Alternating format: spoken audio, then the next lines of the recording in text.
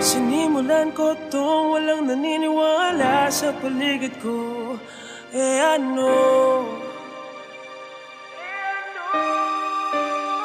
Susulat